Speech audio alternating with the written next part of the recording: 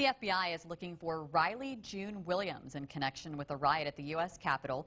A former romantic partner of hers says she took a laptop from House Speaker Nancy Pelosi's office with intentions of selling it to Russia. Williams is charged with illegally entering the Capitol and disorderly conduct. Pelosi's deputy chief of staff confirms a laptop was taken, but says that particular laptop was only used for presentations.